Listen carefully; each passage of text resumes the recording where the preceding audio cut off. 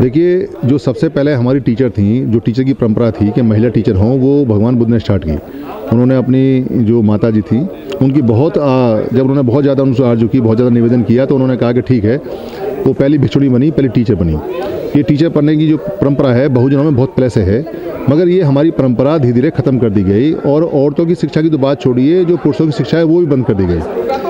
फिर माता सावित्री बाई फूल फुले ने औरतों के लिए, खुद पढ़ी, औरतों के लिए दरवाजे खोले, अठारह स्कूल बनाए।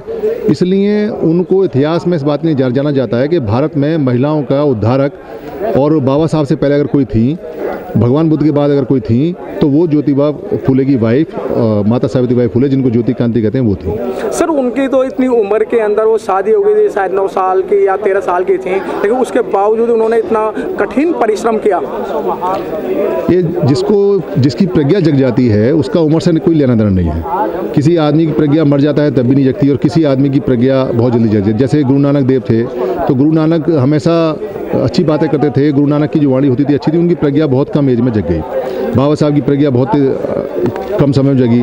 भगवान बुद्ध की तो उनतीस साल के अंदर ही प्रज्ञा जग गई और उन्होंने इस काम में लगे। तो ये डिपेंड करता है कि आपका जो ती अख है, यानी कि जिसको हम त्रिनेत्र बोलते हैं, प्रज्ञा का नेत्र बोलते हैं, जिसको क्या बोलते हैं, त्रिशूल को काटने वाला, यानी कि जो तीन शूल होते हैं उनको काटने वाला जो चीज़ होती है त्रिरत्न त्रिज्ञा है वो कब जगे?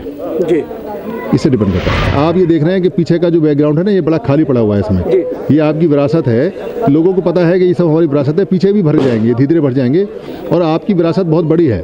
आपकी विरासत इतनी बड़ी है कि लोगों को जैसे जैसे पता चलता जा रहा है, वैसे वैसे लोग उसको आगे बढ़ाते जा रहे हैं और समझते जा रहे हैं। क्योंकि बाबा साहब को जानने में इतना टाइम लगा है, मगर बाकी लोगों को जानने में इतना टाइम नहीं लगेगा। लोग बहुत तेज़ी से, क्या बोलते जानेंगे, अपने इतिहास को जानेंगे और अपनी, अपने आप को आगे बढ़ाएँगे, देश को आगे बढ़ाएँगे।